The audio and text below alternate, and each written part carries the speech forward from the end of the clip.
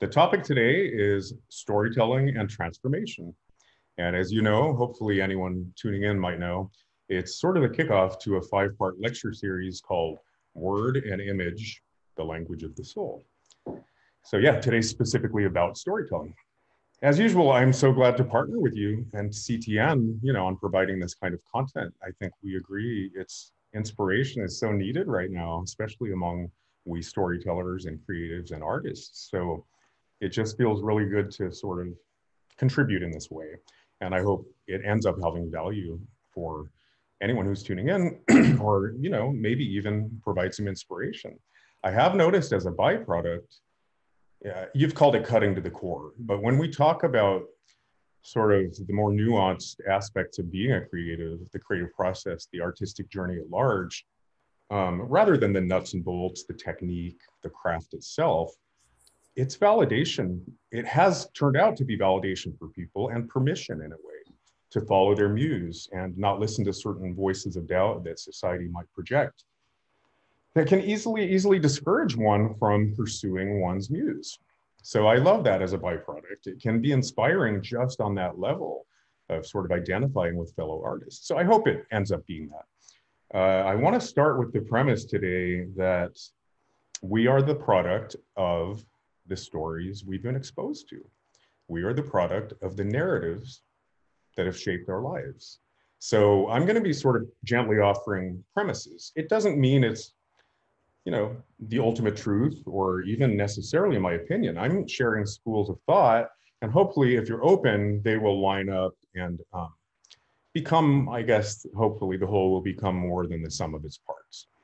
Um, but you know, I, if we're going to have this dialogue together, and we will open it to Q and A a bit later, but I think learning is absolutely about being receptive, just for that moment or those 90 minutes that you're in cyberspace, sort of being receptive, and uh, everything is what you make it.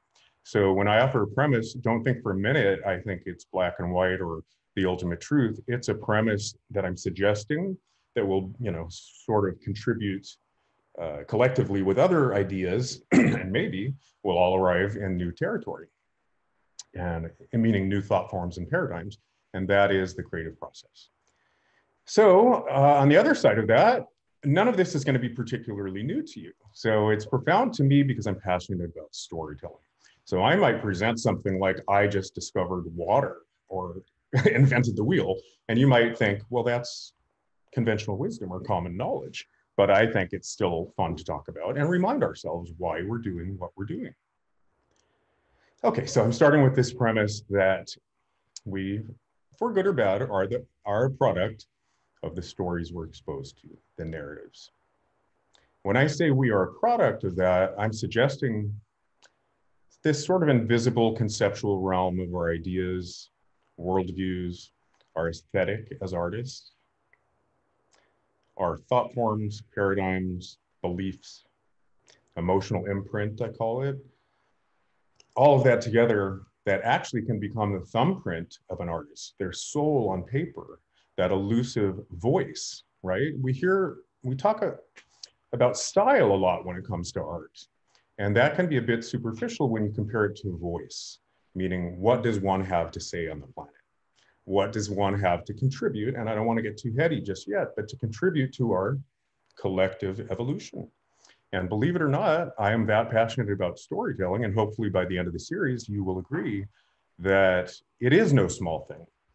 Storytelling has been synonymous with humanity from day one, from oral tradition around the campfire, and it has not evolved out of us.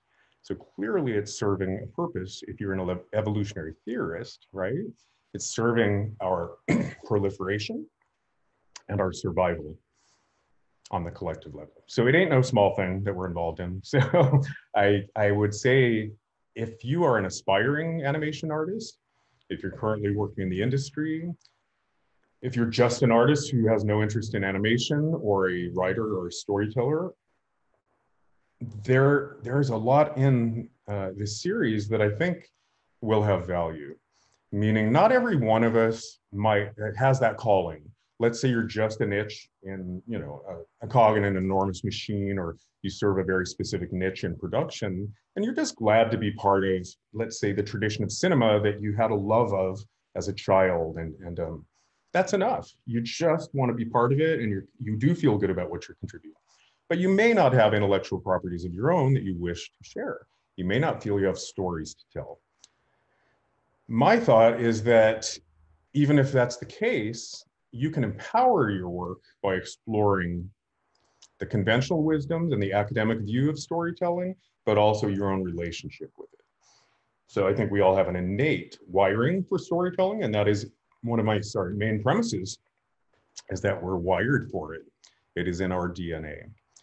Okay, so if you sort of agree that we are the products of the stories we've been exposed to, I would go on to say that that can include, yes, propaganda, not just art that we deem as having literary value or artistic integrity, and therefore redemption culturally, but advertising, propaganda. And I actually think the word storytelling is thrown around quite a quite a lot lately, along with creativity, right? So in academic circles, in the business arena, almost everywhere in mainstream pop culture, there's talk of creativity. I parse myself, because I'm a little bit of an elitist, but I parse between creativity as hijacked for the almighty dollar in advertising, for example, because it's very calculated, in just my opinion. And I am going to talk about some of this, but the chemical, the way you hook somebody with intrigue, with a story.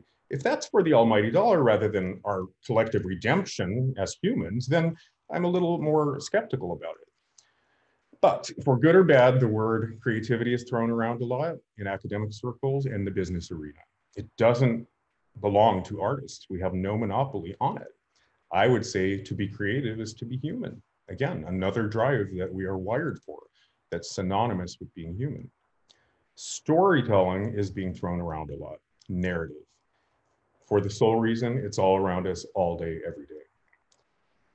It's been proven time and again that we learn more through narrative, more, more through narrative than the didactic realm. Think, just think about it and the reasons why that may be.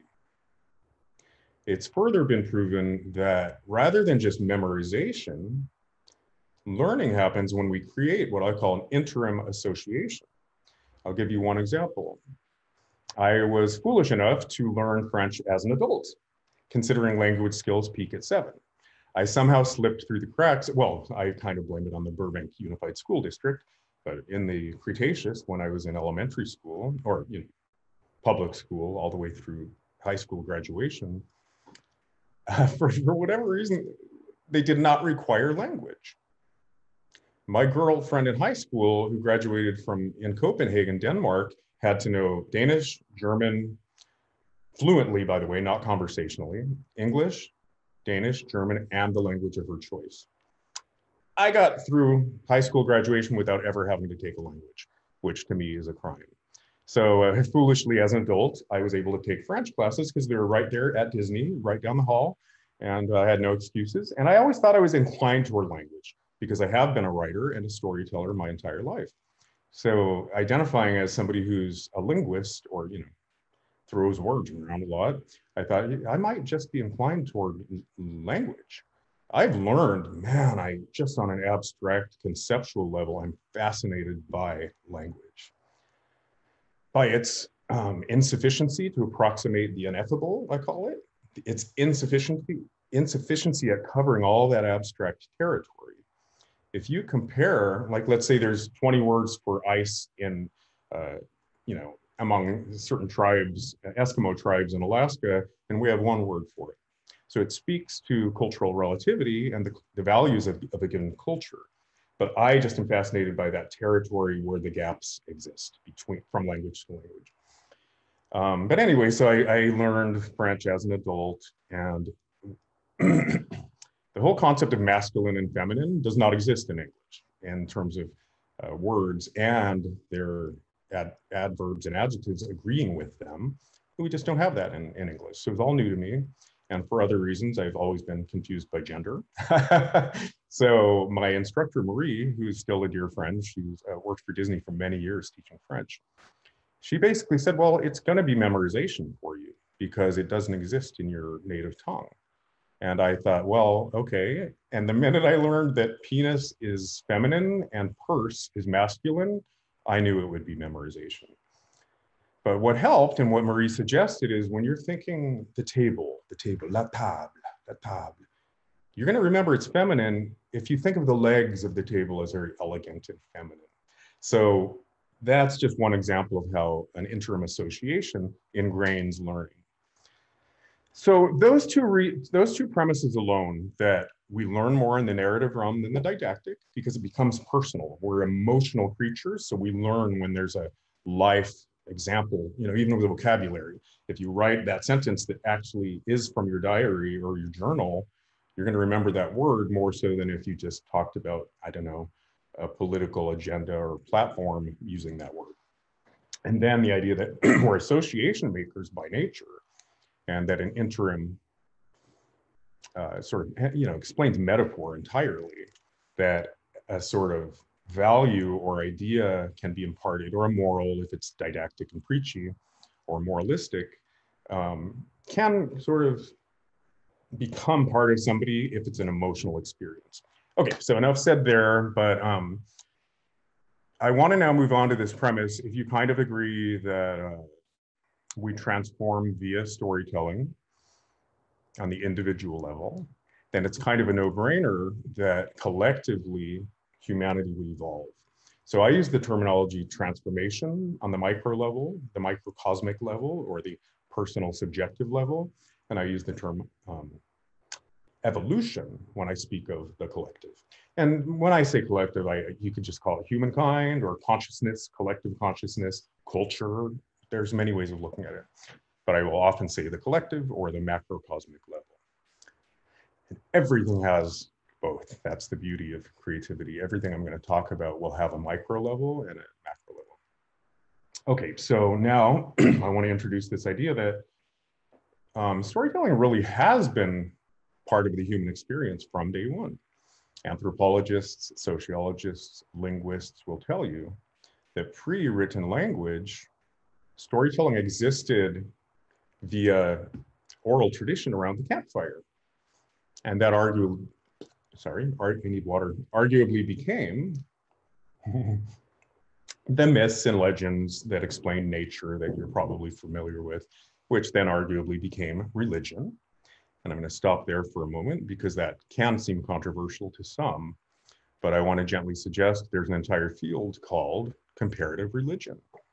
If you don't know Joseph Campbell, because we're talking about storytelling, I'm sort of encouraging you to check him out. Uh, another thing that's thrown around at Starbucks by every little screenwriter with their, you know, laptop and their two-year plan or their five-year plan to become a screenwriter or die and hoping to be discovered. You hear the word hero's journey thrown around a lot, right? well, Joseph Campbell's your man. So I think having a real understanding of what is meant by hero's journey is better than just throwing it around willy-nilly. So you could argue that almost every story is a hero's journey because we're wired for storytelling, and I'll get into that more later.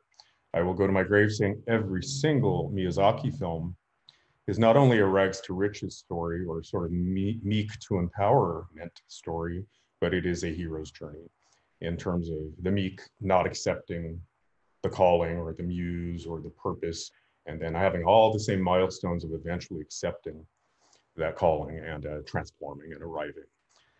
So I would check out Joseph Campbell. There's a really great, I'm looking at my notes, by the way, when I look up there. I don't want to miss anything. There's a great um, series called The Masks of God. And that, I think that's a video series. Yes. And that basically compares not that so much the tenets of each religion the world over, but the templates of each religion and the shared territory and the character archetypes like the Messiah or the conduit that inform all the religions.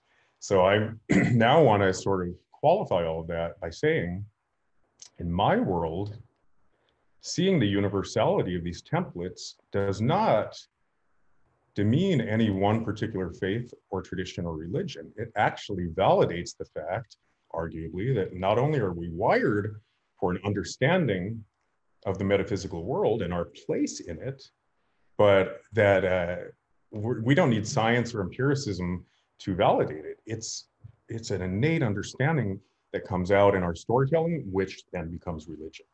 So to carry that gamut further, I hope you would agree that if the myths and legends that explain nature then became arguably religion, and then Greek classicism, and we're talking Western, by the way, Judeo-Christian culture and Western storytelling structure, that those, you know, myths and legends became the Greek classicism, the three-act structure uh, that Plato sort of formalized, and that that morphed into Shakespearean templates, and that that arguably evolved into the latest, greatest action adventure film. If you can see that as one continuum, then it should be clear that it has not evolved out of us, meaning the drive to tell stories. And if that's true, I mean, evolutionary theorists, again, will say anything that do does not contribute to our proliferation or support our survival will evolve out eventually. If it hasn't gone away, clearly it's a strong drive in us, and the question becomes why? So the first day of all my classes at Art Center, and I didn't mention this, but I've taught at my alma mater, Art Center, for 20 years. I've taught uh, visual development and backgrounds the entire 20 years. I have taught many other things like the portfolio class for six years, but those two ran consistently throughout. Every day, especially for visual development, because to empower, if you're going to bring a story to life, and I call it an IP, intellectual property, if you're going to bring a story to life, it's going to be powerful and your inspiration will transcend and speak to other people pretty much only if you get to the core of what's being said universally and have to be passionate about it, of course, right? Or find your passion about the story being told. But man, it really clicks when you make it personal. So I had one student that was struggling with um, identifying. It was actually Charlotte's Web. I'm getting off track here a little bit, but it's it's it's relevant, so it's worth talking about. Uh, I'm still in touch with her to this day, but she really was struggling with Charlotte's Web because although she understood the thematic content and the message that was being imparted, although it showed flip sides of the theme, not a sort of didactic moralistic message, uh, she she didn't it didn't resonate with her. And I think, I don't want to put words in her mouth, but I think she said a lot of the characters were despicable. So she couldn't identify or really have much compassion or empathy for them. It clicked one day with or without my guidance. I don't know why, but it magically clicked. I think her subconscious germinated on it and that lightning strike of inspiration struck. And she said, wow, I realized all those despicable characters were the were my life, that I was surrounded by those characters and she tapped into not just the angst, but the need for redemption in all of it. And that's precisely what Charlotte's Web is arguably about. So literally the next day her work exploded and everyone in the class just could not believe um, how the work was empowered by that milestone. So that's why I really um, encourage my visual development artist students to understand story like the back of their hand, right? You can have a, an art director who's really great at, great at color scripting, for example, a colorist who's really great at color scripting. They may well understand Chevreul's laws of color theory, simultaneous contrast. They might understand the physiological implications of a given color, the cultural relativity of different palettes, the archetypal associations that come up with those different colors combinations. And I call it the um, formal properties of a given color let's say red can be blood, war, um, conflict, passion, even love. Um, some of these are physiological responses. If you put somebody in a blue room, their physiology, their breathing, their pulse rate, everything will settle into a certain zone. And it's the same with red, it will incite the physiology. But there are also, it all works together, the archetypal associations with that. And I, I don't want to go on and on, but there are literally survival based instincts and I call them survival-based instincts that determine our response to certain formal properties. So up is generally positive or good, down is generally bad or evil or destructive because of gravity, right? So if you're doing a character design and you want to make your villain dark, you know, you could really analyze why do we associate black with evil and white with goodness? Well, maybe it's as simple as at night when you're vulnerable to predators, there is danger, there is mystery, and we tend to associate that with a negative outcome. So I call that the formal property. Anyway, I digress. Let's say you're a color, you know, colorist who's color scripting a film. You really have a lot of skill in terms of supporting that story arc with a palette that supports the emotional arc from the conflict escalation to the climax to the denouement or resolution. A lot of skills come into that, and I just rattled them off. But an innate understanding of storytelling and its power, but more importantly, some of what we're going to cover today, like understanding the mechanics by which you not manipulate your audience, but you incite their compassion and identification and therefore impart the thematic content or message, understanding that can only empower the work. So the first day of my visual development class, inevitably I asked the students, why do we tell stories? And I wish we had more time. I got to get through a certain amount of the content because it informs the entire series. We are going to open this up to Q&A at the very end if you hang around. But I do want to quickly uh, just tell you what my students normally say in response again, for 20 years, and I do change things up, but I tend to ask that question every term. And the responses usually boil down into a list of, sorry, usual suspects. And I'm just gonna share them with you. So I usually get the first one out of the way. I offer um, to leave a mark. And surely you hope you relate to that. You know, the idea that our efforts, our innovations, our creations, whether it's sending a rocket into space or building the Taj Mahal, are thought to be uh, an attempt to leave a mark. And I call it forging permanence. So some part of us is innately aware we're dust in the wind. We're going to come and go. Yeah, although energy in my world doesn't just cease to be, it just transforms. But I don't expect everyone to, to jump on board with that. But um, I think innately we're aware of our mortality and we want to create permanence. Some would go so far as to say, and it's a huge school of thought, that existential terror drives all of our creative efforts.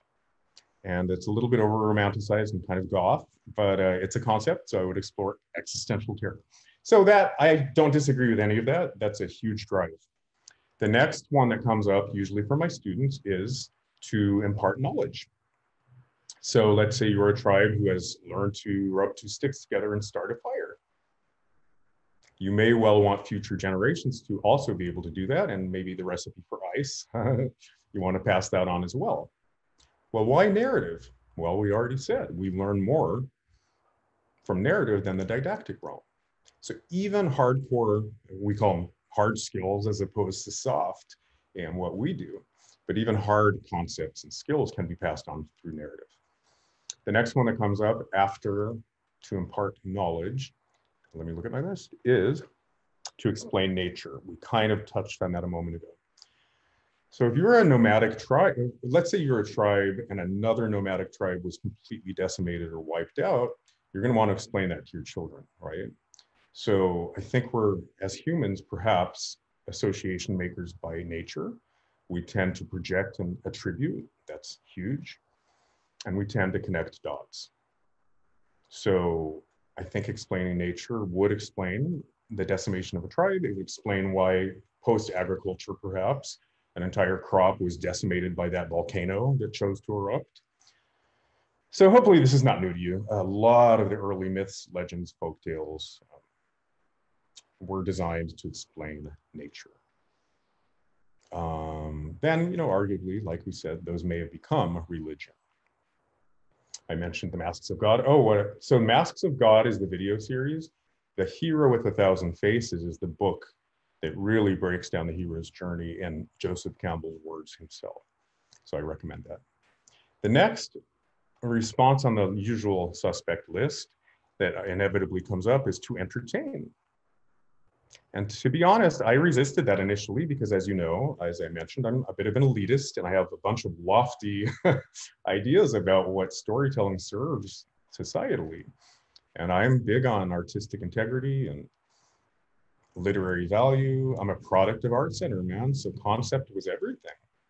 So when I initially heard from my students to entertain, I, I resisted and I thought, well, that sounds a little bit like um, diverting or pacifying or passing the biting the time. And I, I'm the guy who like, I've never played an interactive video game because we don't have world peace yet. So I just can't rationalize spending hours blowing shit up when there's work to do, if that makes sense. So call me an elitist, but I, I didn't like the idea of biding time or, but I absolutely came around for the following reason. If, let's say I consider myself an elitist and I just have lofty goals about contributing to our evolution and you know what? Bonding and affinity of the tribe, altruism, 100% supports our evolution and therefore survival. The, I always say oxytocin, but it might be a different chemical. Hold on. I'll, I'll come to it in a minute. But the chemicals, the neural transmitters that are released when endorphins, yeah, endorphins and dopamine, I believe, and oxytocin. Anyway, a lot of things happen chemically when we laugh. All of them create bonding and affinity that benefits the tribe. So to put a slightly negative spin on it, that tribal instincts to bond sometimes flips into uh, having a common enemy, if that makes sense. And we're hopefully evolving out of that, but it's absolutely necessary. It's the th same thing, you know, in the military, one must have a bond with his, his or her um, comrades because it serves us in war. So to entertain is valuable for the bonding alone. You should, you probably have heard like at a music event, like Woodstock, I'm gonna go into that in a moment, our brainwaves literally sync, right? We sort of set, if you've been to a drum circle, you know that. You, you're, you sync. I think it's called gamma waves. We all settle into gamma wave zone where the mental chatter is quieted, and I call that mind and ego, or pride and ego. We settle into arguably our core consciousness and all of the mind driven, ego driven mental chatter dissolves. So that is why, arguably, Woodstock has become the quintessence of our powers of communion and our innate interconnectivity. Um, so that is the power of art. It, it uh, not only transforms, but it binds us through our shared humanity. Okay, so I love laughing. I mean, that's the other part as I've come around. I mean, I love nothing more than great food, a good laugh. My values have changed.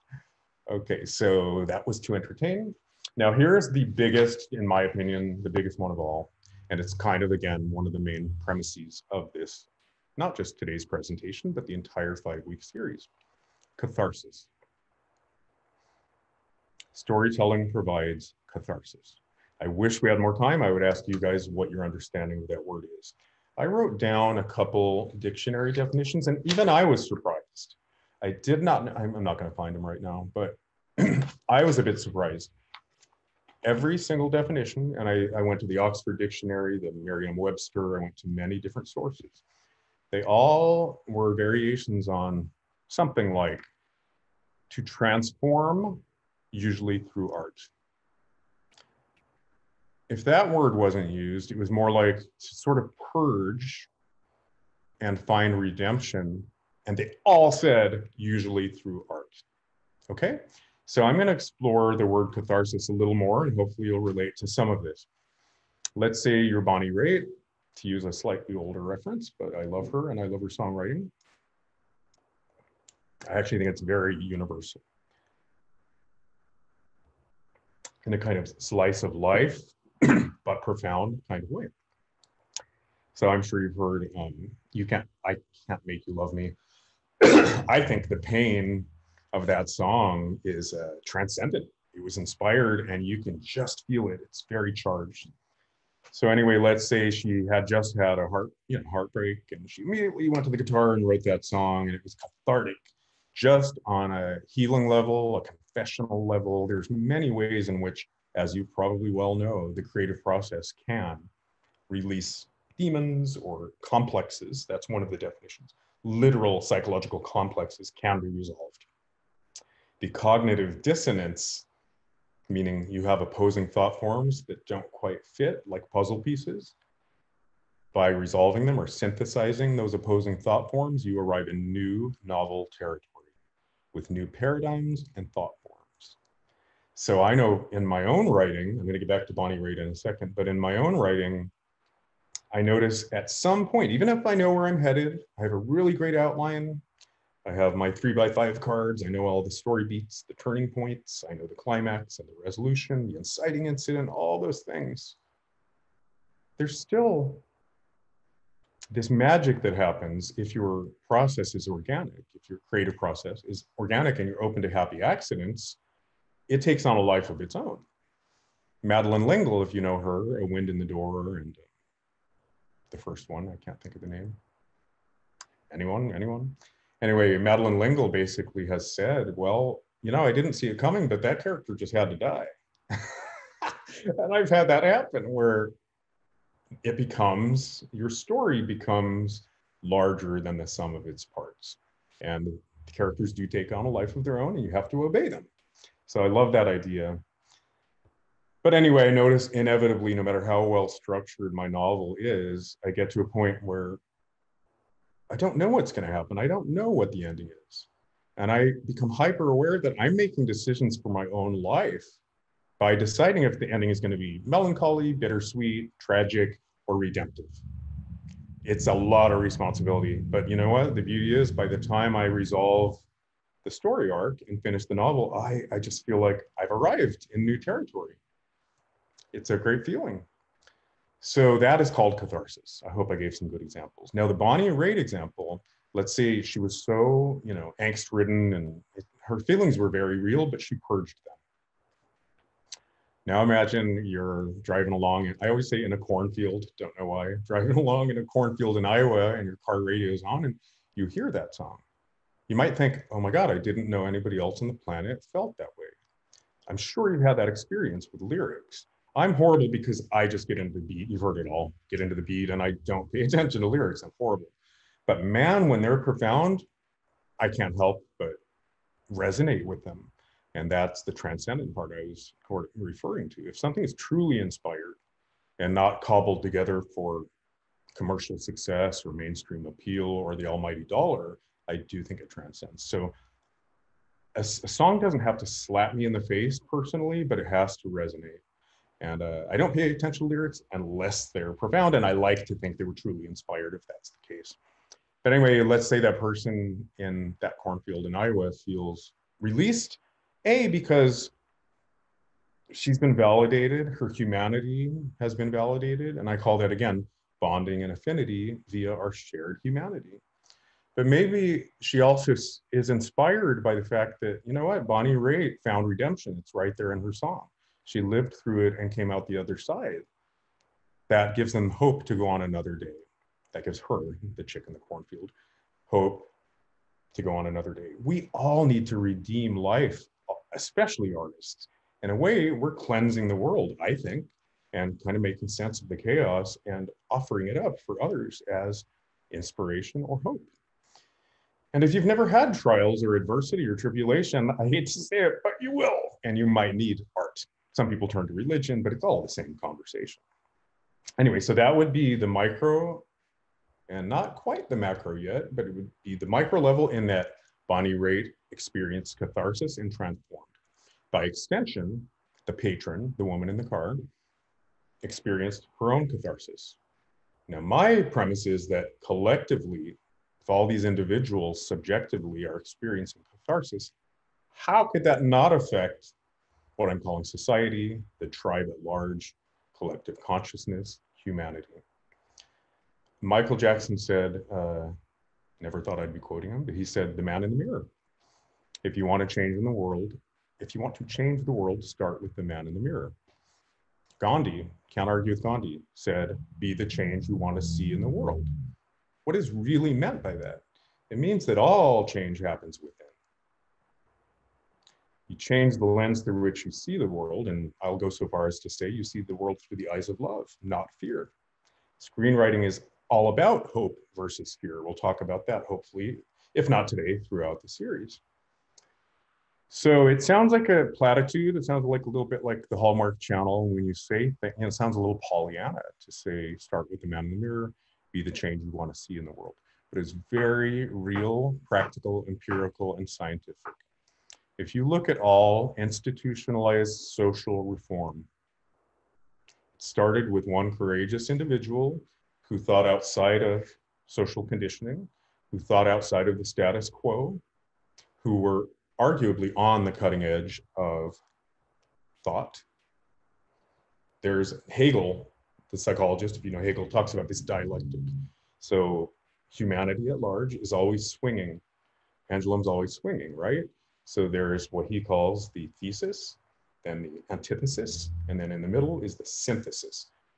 Every one of us is synthesizing ideas all day, every day to carry thought forms forward in our collective evolution. If you look at the personal best of any athlete, regardless of the discipline, the personal best gets better with each generation. That would be because of epigenetics, means we, whatever we do with our DNA, which is just the blueprint, it's just the beginning. All day, every day, our bodies are creating proteins and neural transmitters and other chemicals, uh, hormones that create, self-create ourselves. The DNA is just the beginning. What we do, the nature and nurture conversation, during our lifetime is exactly what's passed on at the moment of conception. So that gives us all hope that you know, maybe one day we we're not going to generate a new arm like a starfish, but maybe, um, you know, sending a rocket into space, for example. And I didn't get to that anecdote, but that was a huge leap. I mean, Neil Armstrong very much said one small step for a man that's left out sometimes. One small step for a man, one giant leap for mankind. That's the micro and macro level we talked about. So yes, on a, an engineering level, huge accomplishment. But how about just on the level of the power of imagination and vision in the creative process and what's called manifestation? Yet another word that's being thrown around a lot in pop culture these days. We manifest only by nurturing the vision and germinating on the vision. So I just love that quote because it speaks to our steady march toward our human potential. Okay, so to go back a little bit to catharsis, um, it is a huge function of art. It's in every definition of it, and I'll leave it at that. Okay, to impart wisdom, now we kind of said storytelling can impart um, knowledge. You can come up with your own distinction if you like, or not distinguish, but I believe knowledge has been defined as uh, what it sounds like. but by contrast, definition, uh, wisdom could be thought of as uh, more philosophical territory. Knowledge has a practical application and it's not just a concept, it's very perceptual. And wisdom might be a little more amorphous, ambiguous, and I call it um, that invisible realm, like I said earlier, of our ideas, beliefs, thought forms, principles, ethics. And by the way, those codes and ethics become laws which makes it a little more tangible and hardcore. All of those invisibles are, in my opinion, and Ayn Rand's and many others, just as crucial to our evolution as our biology. So imagine if our thought forms didn't evolve, and I gave you a hardcore example of how policy and social uh, reform reflects our moral realm, we would have been extinct a long time ago. So yet another illustration of how what we're doing as storytellers ain't no small thing. Okay, so again, wisdom might be a little different than just simply passing on the knowledge of how to start a fire or make ice. So hopefully you're excited about the role of storytelling. Again, none of this is particularly new, but hopefully just talking about it uh, maybe validates what you're already up to or just resonates somehow. Um, okay, so the next transition would be in my classes. Once we come up with that laundry list of functions that storytelling serves, my question becomes, okay, but what does a story need in order to do that? but anyway, think about it for yourself. What does a story need to accomplish that list of things we just mentioned? You inevitably hear three things, maybe more, but I always hear relatable characters or relatable protagonists, yes. That's a no-brainer. If you're gonna hang in there for two hours in a movie theater, or if you're gonna keep turning pages for 270 pages, you've gotta be invested in the wants and the needs, and we're gonna get into that, the goal of the protagonist. Invested in the outcome. You've gotta be invested in how the dramatic tension resolves. Therefore, you have to be invested in the goal itself. Therefore, you have to have affinity and identification with the protagonist. Now, that doesn't mean liking them. It really doesn't. In cinema, there might be some silly rules in screenwriting, like, you know, the protagonist has to kiss a baby by page 12 or has to walk an old lady across the street. I find those a little bit silly. There's another one, and I'll show you a slide in a minute, but for a villain to be truly threatening, they have to show the scale of their, you know, the potential of their evil by page 60. uh, I, I, think those are a little bit silly, but they're based on very real phenomena. So um, the relatable protagonist, absolutely one of the ingredient, ingredients that are nest is one of the ingredients that are necessary to accomplish that list of things we mentioned. The next one is relatable themes that speak to the human condition. Again, I'll let that land. You think about what that might mean. But it's what it sounds like. And again, the whole five weeks might be uh, sort of, there's going to be some, not repetition so much as reinforcement and overlap. But we're going to talk more about that. But relatable themes. So I guess you probably know Shakespearean templates like loss of innocence or returned innocence, forbidden love, I think the Shakespearean templates are really good examples of what might be inherent in the human condition. It's worth talking about. So leave that one alone. And then the other thing you often hear is it needs a conflict. So I'm going to just offer, let's say I had a gun and um, I put it to your head and I said, all right, tell a story. um, or I said, put pen to paper and write a story. Guaranteed it will come out with a conflict. Now, part of that is you know the nature and nurture idea. We've been surrounded by tropes and storytelling formats and genres for our entire lifetimes. We've probably been exposed to Western storytelling convention, which is more linear than some Eastern traditions. But I would argue that we are wired for storytelling.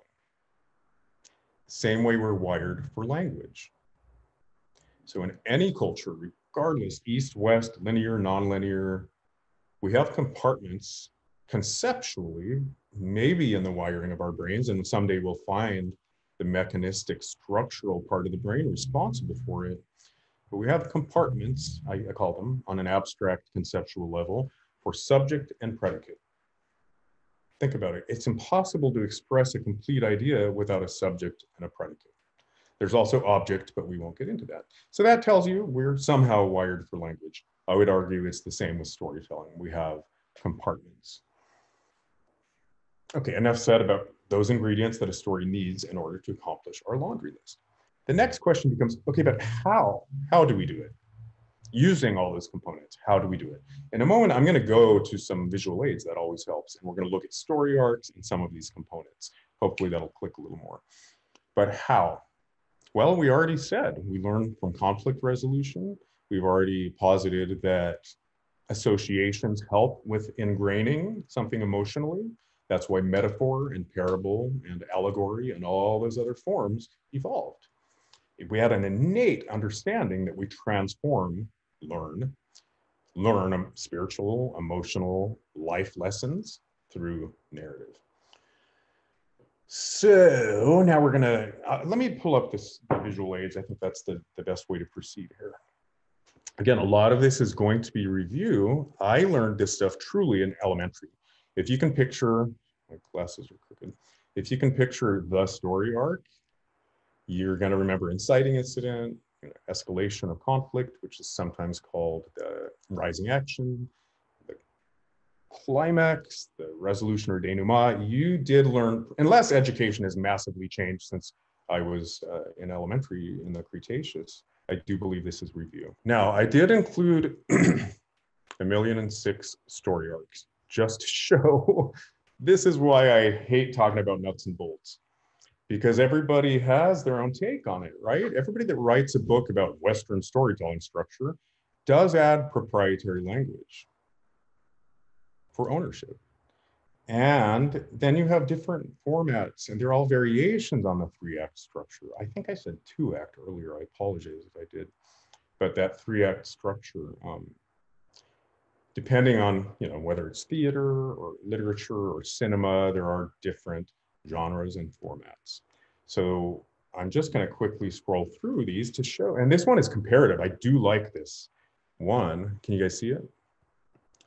Because it sort of takes Aristotle's um, model, which arguably informed um, the Greek tragedies and on and on, and then it compares it with more modern ones that are more related to screenwriting.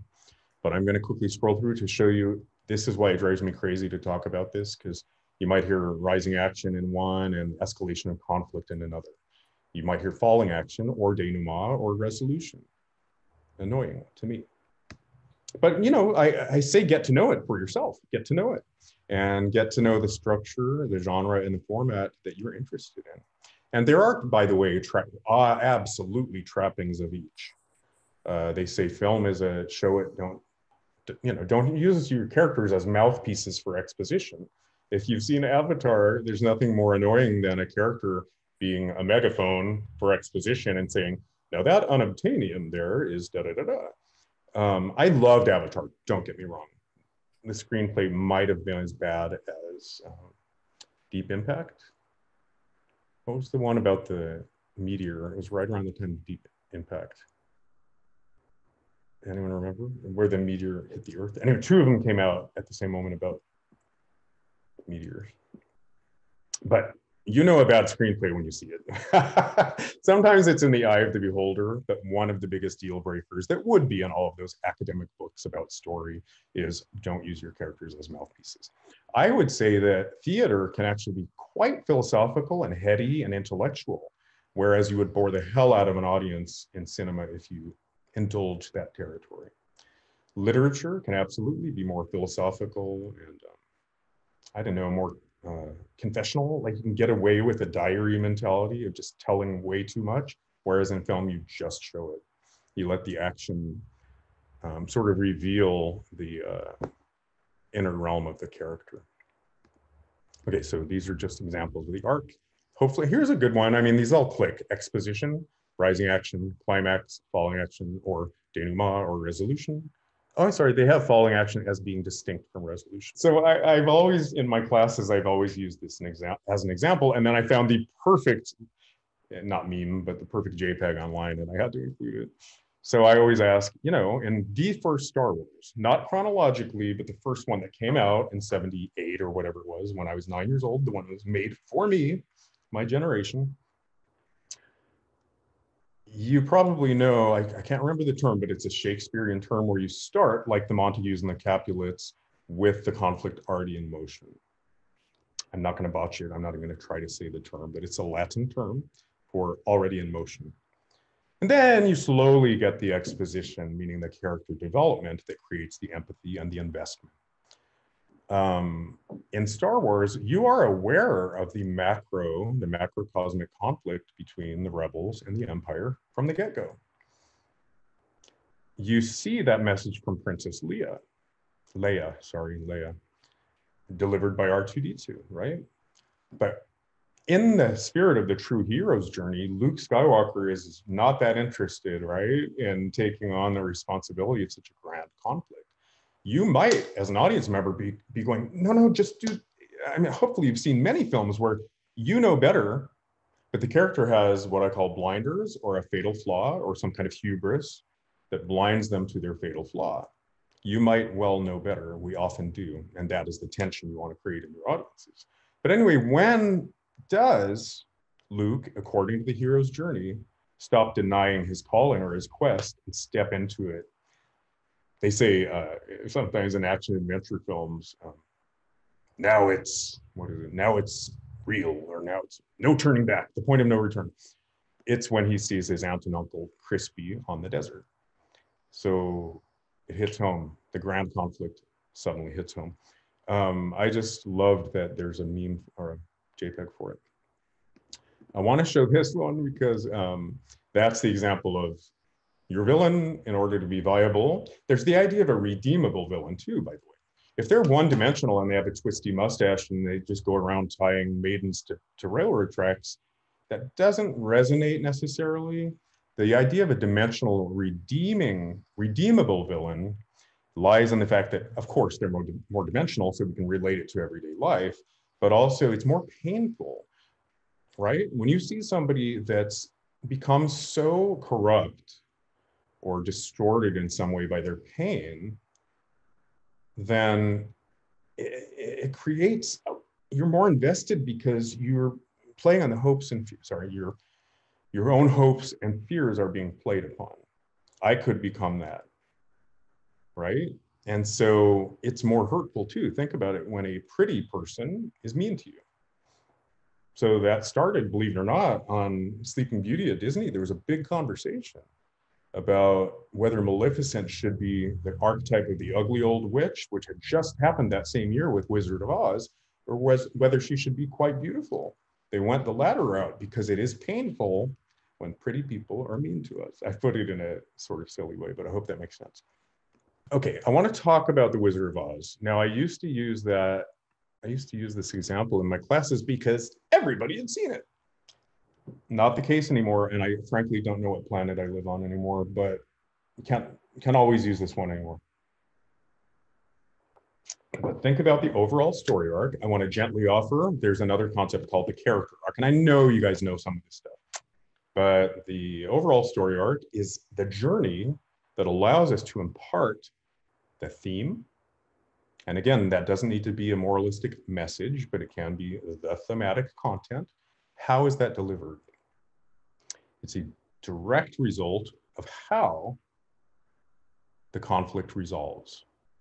So to go back a little bit, I'm going to ask you to define what is conflict. I, we throw it around a lot, but what is conflict? I'm going to gently offer the protagonist with whom you identify has a goal. Something stands in the way of that goal. Therein lies the conflict. So the antagonistic force can be that guy with a twisty mustache and a cape. Sorry. And in a Disney film, an antagonistic force is often put in a body. But in a Miyazaki film, it may be an intangible like doubt or fear that, that uh, prevents the meek character from becoming empowered. The important thing is that you have an antagonistic force. Depending on the brand, like Disney, or even the genre and format, you might put it in a body. Okay, so I hope you follow that. The conflict is character has goal, something stands in the way of that goal. That's how you identify the antagonistic force.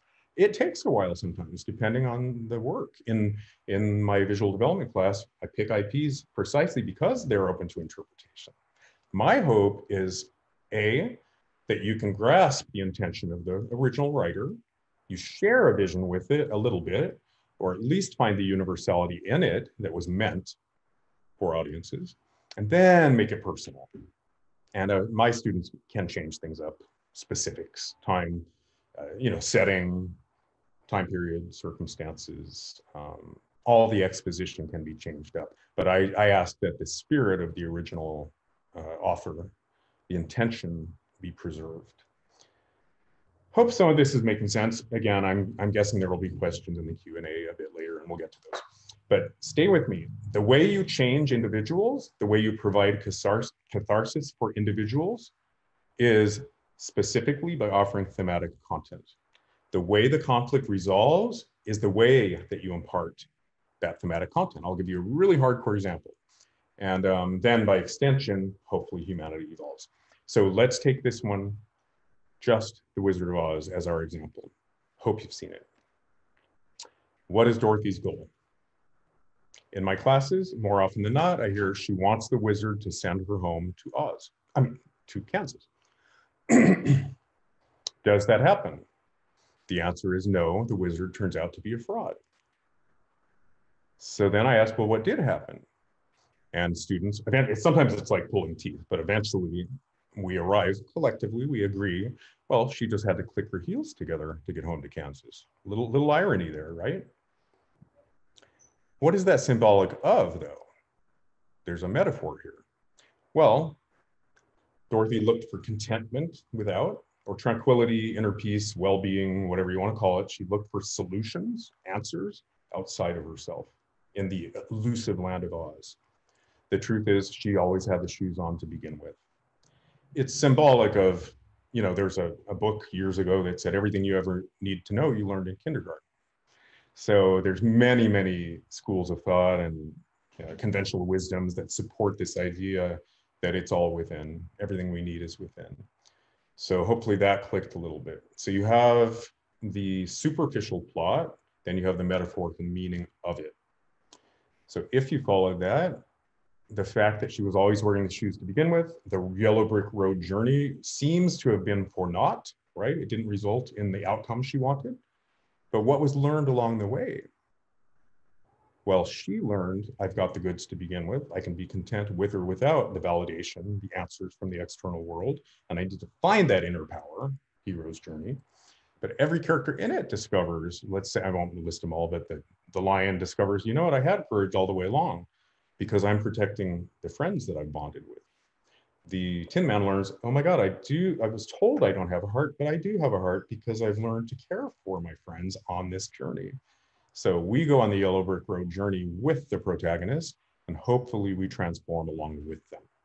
So if you can't figure out what the main theme of your story is, because God knows there are sub themes, it's been said that a novel or a story or a screenplay is always a snapshot of that author's worldview at that moment. How could it not be? I mean, I, I, I, when I'm writing a novel, I draw on literally experiences. I've been to Petra, Jordan. I've walked through this chasm called the Siq. I used that in the Nameless Prince to describe things I wouldn't otherwise get by looking at a Google image. No way. So, in a very practical way, I draw on life experience. But in that invisible moral realm, it's even more important what resonates with me, what I've learned emotionally that is arguably in my knee jerk reaction, my pain body, my emotional imprint, that is going to transcend and resonate if I draw on it, as opposed to theory. Um, Emily Bronte arguably wrote Wuthering Heights without really ever having left the house. So that speaks to the reservoir of what Carl Jung would call, uh, you know, collective consciousness collective unconscious and the archetypes that live in our collective unconscious. Pre language, we dreamt, right? Without words, we just dreamt in images. I'm offering those images that occur in our dreams are the archetypes that appear in storytelling. Think about it.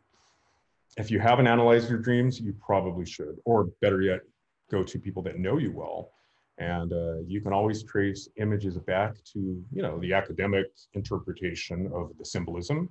But I, I love to do word association with my friends and say, cat, what does that mean to you? And they say hat, you know, bad example. But I do, do think our dreams are symbolic if we choose to um, listen to them. And it doesn't mean God is sending messages or fate or destiny.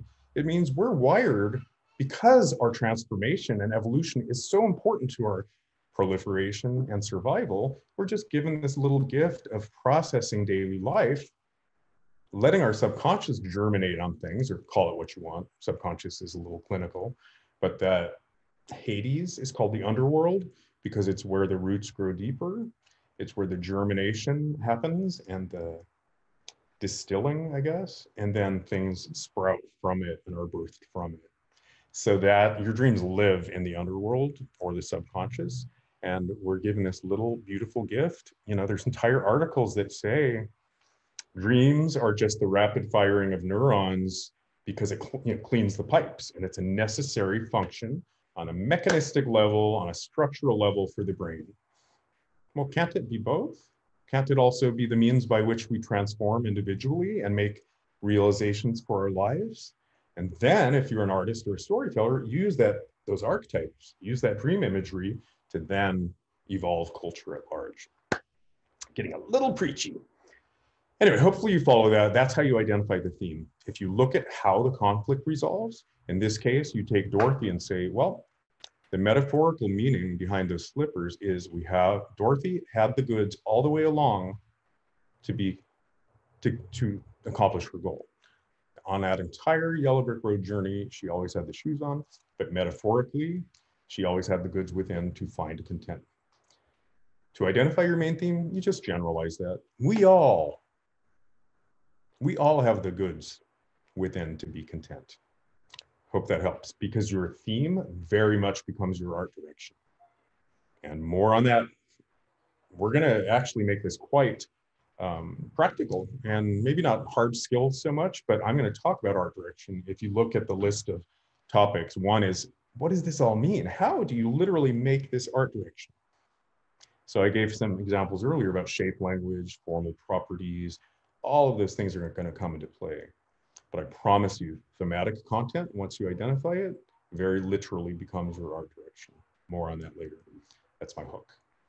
Uh, and then all the sub themes you can identify, because again, every story is a snapshot of that writer's world. So we talked about why has, I'm just recapping, why has storytelling been such a pervasive drive in humanity? Okay, so we talked about why it's such a strong drive in humanity and has not evolved out of us. We talked about how the didactic realm does not teach nearly as well as the narrative realm. We talked about how metaphor, allegory, and parable ingrain learning or learning of spiritual life lessons, emotional lessons, wisdom, through association. We analyze then what does a story need to accomplish that? And we came up with conflict, identifiable protagonist, thematic content that universally speaks to the human condition. The next question was, okay, but how? So here's the big clincher. It's all chemical. Now, what I'm going to share with you now is a little bit more what the advertisers love to call storytelling if you want to make a sale and make, make bank at the box office, you got to hook. You know, if you have five minutes or two minutes, or even in an elevator pitch, if you have two minutes, 30 seconds with Michael Eisner or Jeffrey Katzenberg, you want your pitch to really uh, grab them and um, intrigue them. There's a book called The First 40 Pages. I've bought the PDF, I didn't buy the book, but you know, I'm an author and I struggle with trying to land that agent well, how do you get an agent's attention so they get past the second page? How do you get a literary editor to get past the second page? There are tricks. And it's not hopefully at the expense of literary value, inspiration, or artistic integrity. I'm going to get a little lofty and say inspiration might be something you receive, right? If you have identified as a, an artist or a storyteller, that is the equivalent in the creative process of identifying the problem to be solved. So in the creative process, hopefully you've heard of the different stages. There are about seven different accepted models of the creative process. The Wallas model identifies familiar things like identifying the problem to be solved. That could be the job or the assignment if you're in school. And then germinating on it or um, thumbnailing or brainstorming, or I call it lateral exploration in the visual development class. You explore all your options. Then you might germinate on it. Your subconscious is putting all the puzzle pieces together. And then that lightning strike of inspiration comes to you. Now at Art Center, we were so damn busy. It's one of the most demanding programs in the world. And then I went to New York Film Academy, same thing, very condensed, very intense. Your conscious mind does not have time to literally figure out the solution for each assignment. It's it's a it's a race to the finish line. It only happens in your sleep. So and when your subconscious is is germinating. Um, so everybody I know that went to Art Center or New York Film Academy says, "Oh, it came to me in a dream," or in those few moments when you're lying on the couch, drooling mm, before coffee, not wanting to get out of bed. That's when your solutions come to you. I hope you relate. So where were we? Um,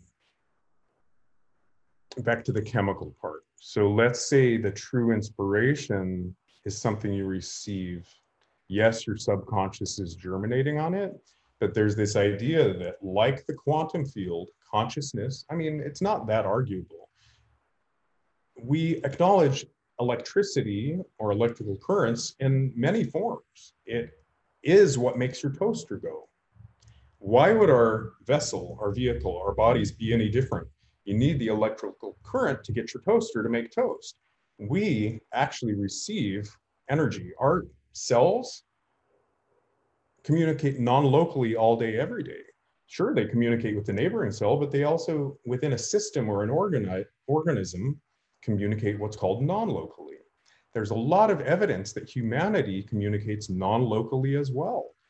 Uh, if you've heard of the 100th monkey syndrome, something mastered by one isolated culture on an island magically appears in the noosphere. I love that word. It means the invisible realm that we were talking about of concepts. So that one is controversial and people have tried to disprove it, but it's a wonderful thing to think about. That once humanity has mastered something, yes, epigenetics uh, perpetuates it within procreation, but also there might be a quantum field, just like all the particles of the universe, that is electrical and that we actually can tap into. I resisted that one for a long time. I like to think, oh, we generate our ideas inside of our skull. Well, the, the brain can be thought of as actually an organ that reifies. I love that word too. Look up reify. That interprets incoming stimuli. You know, without that sense organ, I mean, a dolphin walks into a room and um, is going to use sonar to get his bearings. Uh, spider might come into the room and use a million eyes, whereas we have limited senses. I love this idea, but a butterfly apparently hears with its wings and tastes with its feet. We can't even begin to conceive of that. So in quantum mechanics, it's very well known that it takes an observer to reify reality. And that there's a big question whether or not a universal reality exists or not. A lot of screaming outside. But anyway, so just be open to the idea that we might receive ideas from some kind of quantum field because they tend to be, there is this cutting edge of thought that seems to be global. I love this example. Our revolution and the French Revolution happened at relatively the same moment because the overriding philosophy on the planet at that moment was sophism. And sophism spoke of very new ideas, actually, like personal liberty, um, individuality as opposed to institution. And it, it animated world events globally. So, to be honest, I was a horrible student who could have cared less about history. But again, as an adult at Disney, I learned philosophy for dummies. I learned my Hegel, you know, from my Maslow, Maslow, Maslov, and um, everything clicked suddenly. All world events made sense. So I encourage um, that book, uh, Philosophy for Dummies. But anyway, um, I'm going to get off the philosophical track, but I, I just want you to be open the, uh, to the idea that we do receive inspiration. It's partially that we're germinating on it, but actually ideas may float in the ether and we are antennas for them. Okay, so how do we chemically hook other people to turn that page? or to keep those butts in the seats at a cinema. To illustrate the very first neurotransmitter chemical or peptide, I'm going to quickly, poorly, tell us a scene from my own novel. Usually I have the Nameless Prince behind me, but I don't today. So my adult novel, The, the Nameless Prince, uh, came out in 2012. The sequel came out in 2016. Very much from life. I mentioned the Petra descriptions earlier from Petra Jordan. Anyway, quickly, it's a story about Seth, who arguably is one aspect of me. And he's an artist, of course, who grew up draw, being the best drawer at his school and really indulging J.R.R. Tolkien and C.S. Lewis and this whole uh, fantasy realm. And it's sort of a coping mechanism because he has a tough life. He's being cared for by an uncle who's become a guardian because his mother died and there's a lot of mystery surrounding her death. But here's a dude that would really rather be nipping at the bottle than raising ragamuffins. So he's an un, um, unwilling, unwilling guardian, or I guess a reluctant guardian. So of course, Seth is looking, look, searching. He's, he's, he's got angst. So every day he crosses the LA flood channel. Now, if you're not from LA, what you need to know is there's a horrific concrete flood channel that used to be a natural river. And during the WPA, the World Projects Administration, uh, they lined it with concrete because just to stimulate the economy and create jobs. There actually was some flooding here and there, but it wasn't a huge problem. My understanding is it didn't need to be lined with concrete. And now it's uh, that concrete is slathered in graffiti and it's you know, contained with barbed wire. It's pretty hideous. And uh, Conan O'Brien, when he first moved his show to LA, he did a great segment where he went down into the wash with the guitar and tried to make it poetic, but then there's trash floating by in the water. Anyway, I don't mean to badmouth it. The truth is, and this is what my, no my novels have a huge sub theme of revitalizing the LA River and returning it to its natural state. There's a river in uh, South Korea, I'm not going to remember the name of it, but in Seoul, I believe, that was, oh my God, turned back into a natural uh, river and it has become a community center. The possibilities are endless. So that's a subtopic, but I do kind of preach about returning the LA River to its natural state. But in book one, it is just this you know flood channel covered in graffiti and barbed wire. But when Seth crosses the bridge, Glendale Avenue Bridge, and looks down into the wash, he sees something else. Maybe the need and all those fantasy books he's read ignite his imagination. And there's one island among many, and there really are islands down there with cottonwood trees and eucalyptus trees and other pretty dense foliage. He sees just the way the light is hitting this one tree and um, the little leaves are fluttering and even far away he can see that is a magical kingdom. And I, I'll bet there's a portal down there. And then for good or bad, he sees a little puff of smoke coming from between the trees. So he goes, you know what, I gotta check this out. He's had detention, so he's coming home late and there were no cell phones back then, so he couldn't call his uncle. He actually knows he's not gonna get his ass kicked, but he's gonna get a talking to when he gets home. Would rather avoid that, but also thinks I have nothing to lose. I'm already in trouble. I'm gonna get off the beaten track and go down there and explore these islands. So he descends the stone stairs and hops from island to island. And as he does, the, the trees get denser and actually the sun is sinking. So these beautiful shafts of crimson light are coming in between the, the tree, the, you know, be, through the forest canopy and illuminating uh, the foliage with little dapples of crimson light. And it, it's just igniting his imagination more and more. Unfortunately, because the sun is sinking, he's feeling pressured because right at sunset is when the Mayans appear. The local gang, the Mayans usually tag the wash at. He doesn't want to be a sitting duck. He doesn't want to witness, you know, anything shady and become a target. So he's got to check out these islands and get the hell out of it. Just as he's nearing the island from which the puff of smoke has emanated, there's a stand of birch trees blocking his view. Now he's seen little signs of life. He's seen sort of rotted tires that create a pathway. He's seen little tapestries strung from tree to tree, like um, hammocks and actually some of them are emblazoned with Aztec motifs. It becomes symbolic later, not Mayan motifs, but Aztec. And now he's just about to approach the main island. He actually thinks he sees a water wheel churning between the trees, powering the island. But just as he's about to round that stand of birch trees, he hears the Mayan war cry. And that means they're tagging. They're coming to tag the wash. So he has no choice but to bolt. Okay, so if I didn't tell you A, what he found, what he saw, would you be dissatisfied? Are you at all intrigued? Now, I did a horrible recounting of it, but again, in the book, hopefully it's effective. And then B, I would ask, did you picture it? Again, my description probably was not up to par, whereas hopefully it is in the book. But did you picture it?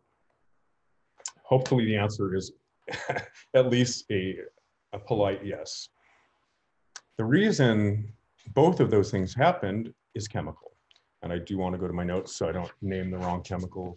Um, dopamine, hold on, actually does both. Dopamine is created, it flows when you're intrigued or hooked. And that is the whole premise of that book, the first 40 pages, and how to hook your literary editor or your agent. Um, the beauty is dopamine also creates not so much, I mean, it heightens your senses for sure. You're suddenly sharp in the same way martial arts and gamma waves heighten your awareness. But more importantly, it heightens your memory for details. Okay, so think about how important all of that is in storytelling. More germane to our conversation today, or more prescient, I would say, is the idea that bonding and affinity and trust result from dopamine. So a great storyteller is creating affinity and bonding of the tribe. Again, have you ever left a, a movie and just thought, wow, I just feel more human? Part of it is you identify uh, with thoughts and feelings of others, you're validated. They call it um, life affirming. It sounds a little hallmark, but some movies are truly life affirming. So I love that idea that you can leave a cinema in new territory mentally or emotionally. Okay, and that is all, again, dopamine. A great storyteller will create a bonding for a tiny group or a larger group or in a cinema or for a whole stadium. Okay, and uh, I am wrapping this up, but the next example I want to give is oxytocin. So when you, uh, I'll quickly say I'm reading um, Jane Fonda's autobiography right now, and man, even though she's a star with a lot of privilege, she lived a pretty hard life.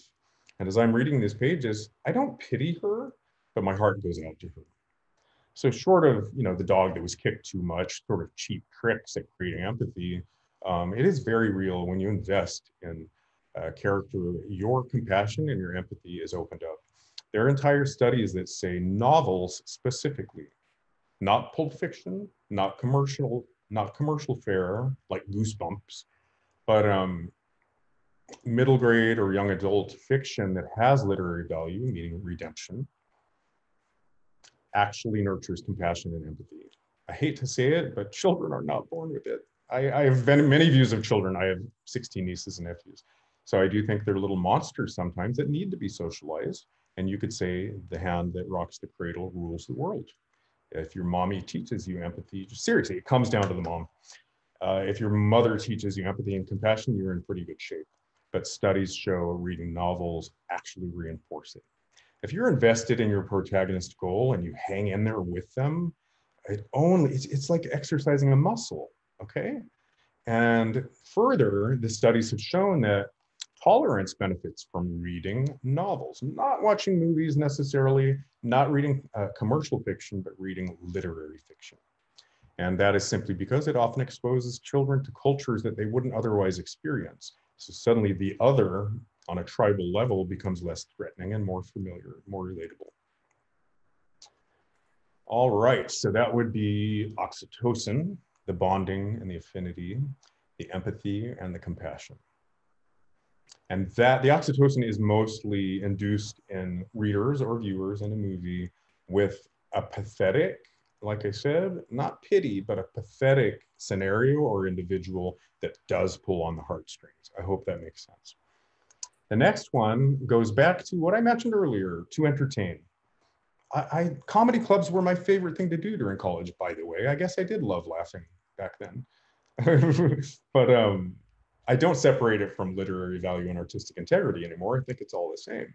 But man, if if you got that dude around the campfire that thinks he's funny and he becomes the court jester or does a little hat dance, that does benefit the tribe because endorphins that are released during laughing also create affinity and bonding of the tribe. Hope that makes sense. Again, I leave a good comedy and I'm like, oh my God, I'm so glad I didn't watch that on my couch. Uh, comedies, I, you know, there's so many people that say, oh, I'd rather do it on Netflix so I can do my laundry. As a filmmaker, it's like, I don't want you filing your nails while you're watching my film. I love the communal experience and the shared humanity. Comedies work better when people are laughing around you. I mean, I'm often laughing when nobody else is because I'm a weirdo, but I love it becomes more than the sum of its parts because of the communal experience. I think I'm going to wrap it up. That's the chemical level on which we are um, accomplishing that list of goals we we um, came up with. That's the best explanation I've heard of comedies in a theater versus watching them alone. I am a sucker for Netflix and I love the accessibility now. And as we said earlier, distribution is changing. All the avenues are changing. So we have to evolve. But have you ever felt like I don't want somebody literally doing their laundry and missing out on a scene? It's horrible. but yes, comedy, I, I just feel like things land a little flat when you're at home, but just other people laughing, it just, I don't know, it works for me. Amazing like a Judd Apatow comedy. right. Work, would not work in isolation quite as well, just my opinion. So we have a question from Annie Chen. Uh, she's a concept artist. It's a little more practical question. Uh, She wants to improve. And uh, do you have any reference or more examples for us to study from that can enhance storytelling as a concept artist? Well, examples of great images, they're I mean, I, I just can't even go down that road in my presentations because there's too many artists that inspire me. I mean, I am absolutely one of those people. If life isn't giving me inspiration when I walk out the door, right? We said earlier, like that little juxtaposition of incongruous images or something that you have to go home and thumbnail quickly or take a, an audio note. If life isn't providing that, nothing wrong at all with just going to one of your favorite artists and saying, wow, I wonder what inspired him or her and even in your learning process, mimicking, not a problem if you're in your learning process. That's how we find our voices. So I guess one answer to that question is allowing yourself to be inspired by fellow artists that you admire. I'm guessing those artists have either an innate appreciation of storytelling or a sort of academic understanding of it. So yeah, just look at, I mean, it's, there's so much availability. I don't even want to tell you where to begin and I'm not going to try impose my tastes on you and tell you who I love um, Pascal Campion. I mean, there's too many. Uh, Amazing. Yeah, but just poke around. We all have fingers, man. Poke around on the interwebs. But I would think, you know, believe it or not, I'm not necessarily promoting the series, but little things like this, like we said, Tina, CTN is such a great resource for people just to be living the life, you know, keeping inspired constantly and stimulated go to those drawing workshops, sit in on these kinds of presentations, keep a sketchbook. We've kind of said that a million times. I think keeping a sketchbook is everything. You stay fluid. You stay fluid about receiving the inspiration like an antenna and then regurgitating it and offering something up. Even if it's just for you, it helps you develop that authentic voice that then will be shared and connected. It sounds like this person is already doing it. So I just think don't plateau and don't stagnate. I mean, when I got busy at Disney on production, I didn't go to quite as many drawing workshops at Art Center. You had to as part of your, you know, uh, regime, your curricula. But at Disney, it was on you, right? Thankfully, I had drawing workshops right down the hall. No excuses. I did them regularly. After having left Disney, I was there for 12 years. Now suddenly, CTN, I'm horrible. I don't come to them because it, it's a little too far away. But the burden was on me to find drawing workshops in my neighborhood to stay on Rusty. So I hope that helps. Those are the conventional wisdoms. The next question is from Didem Atia. He's saying that you probably heard of Will Storr's book, Science of Storytelling. He says the perception in that book, he says the perception doesn't make any sense and human brain always creates narratives to induce these chemicals. I thought it was close to what you said. And I wanted to ask what else do you recommend as reading material on that subject? Well, I, if I understood the quote correctly, I may not have, but if I understood it correctly, I I agree that we're association makers by nature, right? We our brains are constructed to connect dots. So on a psychological level, we attribute things and we project all day, every day. So look into maybe um, Jungian and Freudian uh, defense mechanisms like projection and attribution. That does account for the narratives we weave. I mean, that's kind of a separate conversation. A narrative can be a horrible thing if you have some bad experiences in your past that are still the drum, the, the, the drum that you beat and they're preventing you from manifesting your desires those are the narratives we need to undo, right? We need to disentangle those neural circuits and create new. And a story and catharsis allows us to create new paradigms. So I think I understood that quote to mean we're association makers by nature. And that does harken back a little bit to why those myths that explain nature evolved. It's because it's human nature to project meaning, significance, beauty, redemption, truth on a rock. That's precisely what I love about storytelling. Anyway, to, uh, on a similar topic, I didn't, I, I will continue to list books and references. We can even post some of them after the fact. But I mentioned Ayn Rand, I mentioned Joseph Campbell, I mentioned Jung. I'm a big fan of all those guys and any book you pick. Uh, Jung has a really great book called Christ as the Symbol of the Self that speaks to the hero's journey, only using different vocabulary. A little more related to that specific question, I failed to mention two books that are a big part of my worldview and this kind of content Meaning and Truth in the Arts. And unless I search, I'm not going to remember the author's name.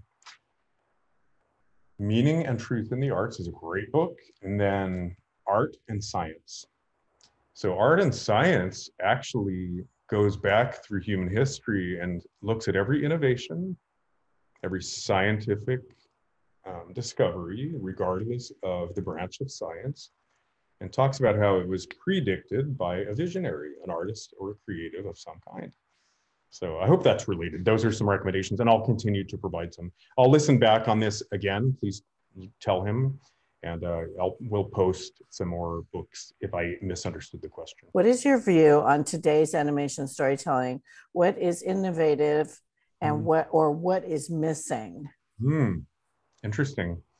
Well, you know, I don't get out enough. On, I, I mean, the last year, all bets are off, right? There's uh, there's been some great opportunities for broadcasting online and such, but uh, I think a lot of productions were halted, and then they say there's no lapse because everything that was in post production is now going to come out. I saw a dead zone personally, so I'm a little bit out of the loop, but I'm excited by what's happening. I mean, you asked my opinion. I'm a dinosaur come on, I was born in 1968 and I didn't get to an anecdote that I wanted to, to mention. You know, I was born when the world was on fire, like it is right now. As much or more cultural strife, man. Uh, JFK was assassinated that year, Martin Luther King was assassinated, the Democratic National Convention, which was one of the most contentious demonstrations, and the first example of extreme police brutality that was institutionalized, that was all 68. And then the next year was the moon landing and Woodstock, which I would argue, um, I'm going to get back on track here in a second, but um, you know, Woodstock is the quintessential example of everything we've been talking about the syncing of brain waves, the bonding through our shared humanity. It's the quintessence of our interconnectedness, but also our powers of communion the moon landing has been, and I did reference it briefly, but it's emblematic of our march toward human potential.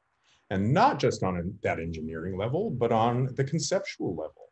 We're able to manifest more and more by valuing, culturally valuing and honoring vision as an end in itself. So I was born in 68 and I've been around a while, but I would say um, I love what's happening in storytelling except that, and I think a lot of us dinosaurs, no offense, Tina, but all, and you have a few years on me, but all of us that have been around a while would agree there's a lot of mimicry going. So again, you're asking my opinion. I love what's happening in so many ways with storytelling. It's gotten better and better. I don't love, for about 10, 15 years, I didn't love how hip animated films needed to be, especially the mainstream ones Disney, DreamWorks, PDI, Pixar. I kind of joke, and I don't want to get myself in trouble, but it, it might have been a Sony Pictures film, and I do love like Happy Feet, and there was another Penguin one. I do love them, but I did see it was over the end credits, and I think the bear was slapping his own ass during the credits, and I thought, oh, yeah, we kids don't need that. and then I saw a rather mean-spirited thing where a car turned over and the character went, woohoo, woohoo, and I thought, yeah, kids don't need that either. So mean spiritedness doesn't go very far with me. I do think the good, the bad, and the ugly must be shown. I think violence is wonderful if it's not gratuitous. I think violence is absolutely necessary, truly, if um, it helps tell the story and impart that thematic content. Quickly, I'm going to use one example. If you've seen Pan's Labyrinth, one of my favorite films of all time, I love Cuarón. Some people complained that the heaven, heaven, that Ophelia returned to was quite dark. And I thought, well, but she's that girl that read all those myths and legends and folk tales. That is, she has a dark aesthetic. That is heaven to her, perfection. Not to mention the voice of the filmmaker. But I also thought the extremely violent, disturbing images of the Spanish Civil War were necessary for the redemption to pay off more. In my analysis of Pan's Labyrinth, it did speak to our metaphysical disposition, the human condition, but more the metaphysical reality. It said those who suffer, and it's biblical, it's, it's exists in many traditions, that those who suffer will be delivered. Those who suffer will inherit a kingdom. It's a huge archetype. So for her redemption to pay off more and to illustrate the suffering, we had to be clued in as audiences to the horrors of the Spanish Civil War, which we have no way of really knowing culturally here in the States. So anyway, I think yin, you don't know the yin without the yang, you don't know the dark without the light. So I'm not anti-violence. I'm anti-gratuitous violence. So what do I dislike about modern storytelling? Some of the gratuitous violence, of course, but I don't tend to see, um, I saw every slasher in the 70s because my friend Sherry made me and I don't hate them. I have a love of them. But uh, in terms of just violence, uh, we didn't get into this. Okay, this is a perfect opportunity. But all those chemicals we mentioned can be qualified as the euphoric brain chemicals. The flip side of that, believe it or not, are oxytocin, I'm sorry, are adrenaline and cortisol. So think about this. If you only see The Last Boy Scout with Bruce Willis, if you only see action adventure films where the body count must be 300 or more, where there must be an exploding helicopter and a car crash and a severed limb, you know, by page 60. If you're seeing things that literally titillate for the sake of the almighty dollar, you might well be training yourself into an addiction if that's all you see.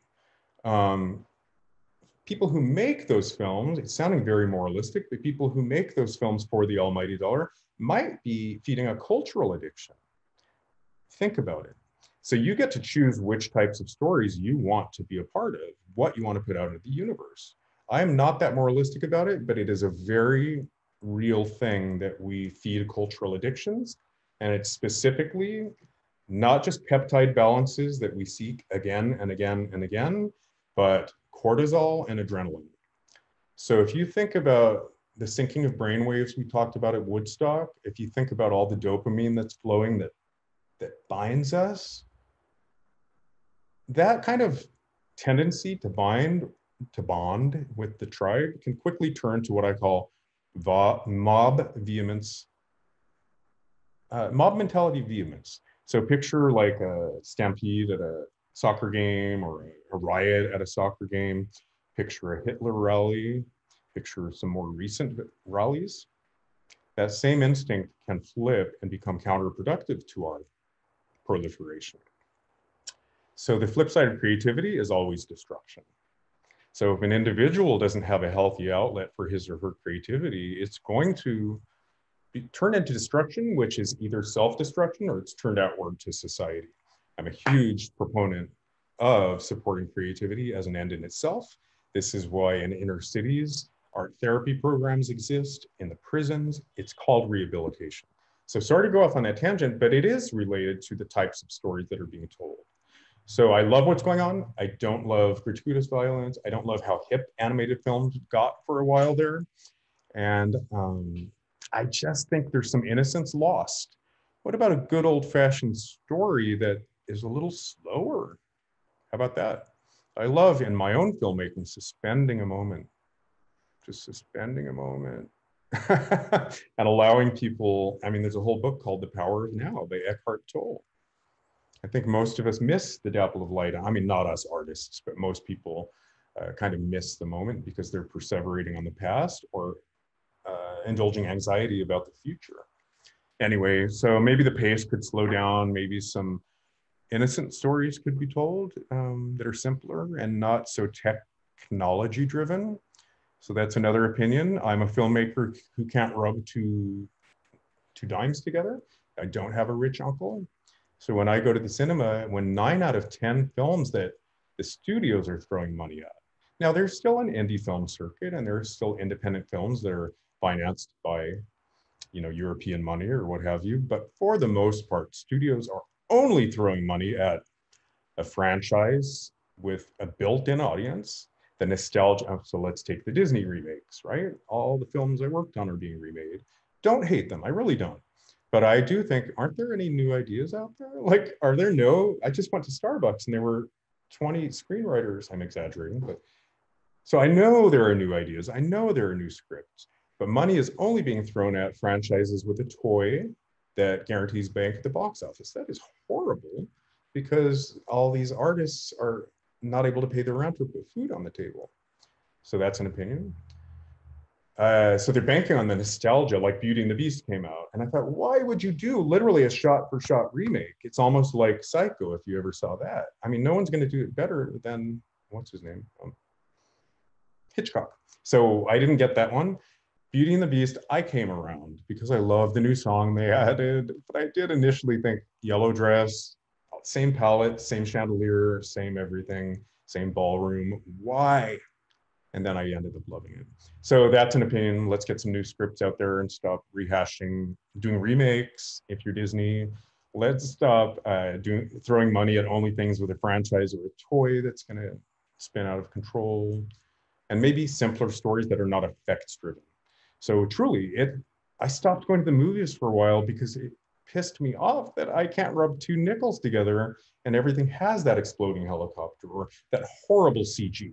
If you saw um, King Kong, Peter Jackson's King Kong, I mean, I love Peter Jackson, but I frankly got bored. Like the 20th time, I forget which chase it was, but it just went on way too long. And clearly they were keeping up with the Joneses, showing off the technology, and it actually didn't propel the story further on a character development level or on a thematic content level.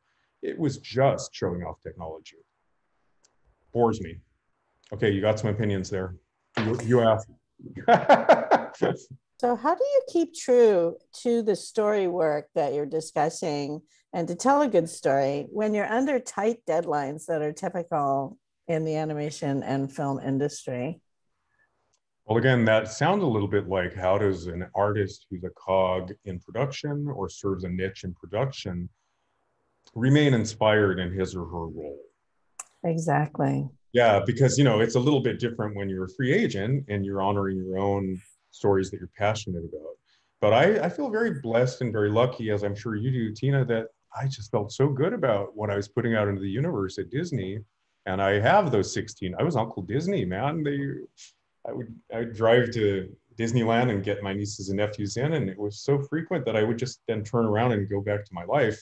so they came to the premieres, uh, and I really loved. I was very proud of what I was putting out, and that's a gift because to be passionate about the director's vision for Lion King, for example, and Roger and I still talk about what a bizarre moment in time where so many things came together, so many confluences, and that literary value and artistic integrity that we were talking about did sort of dovetail with commercial mainstream success. It's precisely because the story, and I appreciated it so much more at the whatever 30 year re release where it was digitally remastered. It spoke to me again in a brand new way. And I thought, man, that is the prime example of speaking to something fundamental about the human condition. So I would say it's a gift if you can resonate with the project you're on. I've also worked on a Mattel project that was just meant to sell toys. It didn't last very long, but I tried to find the love, the universality in it. Then I tried to make it personal. So my answer to you is, you know, try to be on projects you're passionate about try to relate them to your own life and make them personal, that's automatically going to empower your image making. But if it is a pretty dry project, you might be just S out of luck. Um, another thing you can do, again, every role, whether it's a storyboard artist or a colorist who's color scripting or a visual development artist who gets to do the character design we all love to do, any one of those roles has its own skill set, right? They have a very specific skill set. I rattled off uh, what a colorist might be dealing with. Again, won't repeat it all, but the archetypal levels of color, the formal properties, the physiological, the cultural relativity. So I would say just keep upping your game on the specific skill set or on the skill set that's specific to your niche and production. Just be good at what you do. You're not always going to love the story, but make every effort. I mean, take the time. How about that? To analyze it. This is why I'm offering this course. Some people just work on a film and there are risks they're yes paying their rent they're putting food on the table that's all good but their work may seem like drudgery because it is drudgery. They're they haven't taken the time to go what does roger appreciate about lion king? You know rob or roger and what's what are they excited about? Can i share that vision with them? Can i best contribute and support that vision? Take the time to do that. My student that i mentioned that finally broke new ground it's because she took the time to germinate on it. Thank you. Great answer. If You say just do it, or what was it? just yeah, do it. just do it. Just do it anyway. Do it, it is a very interesting arena when you're this creative storyteller and you're being asked to do uh, amazing things in your in your little box that they give you. Yeah, like we said too, not everybody can do it. Collaboration yeah. is everything. That's why uh, truly, that's why we're offering this because you can only collaborate truly if you believe in the project. And at face value, every single assignment I got at Art Center, I had to find my way in. I had to find the love in it. You can't sink your teeth into something unless you find the love in it. Simple as that. Thanks, guys. Thanks for joining.